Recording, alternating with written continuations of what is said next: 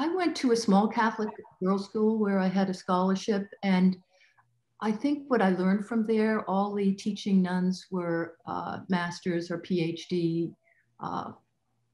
you know, academics. And they also identified me as somebody who was a leader and mentored me and, and, and uh, really encouraged me to reach, reach high. Uh, I actually gave up a scholarship to do a PhD at Harvard uh,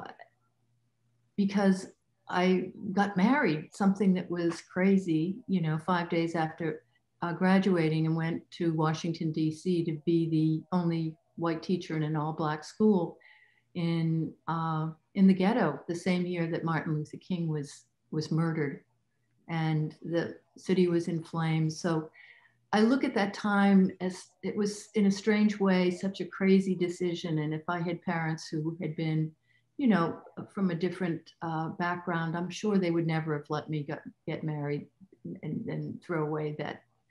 that uh, opportunity to, to do a PhD, but I would have done it in Romance languages probably, and I wouldn't have had that initiation into Black culture, which has always been uh, something that's Black lives have always mattered to me,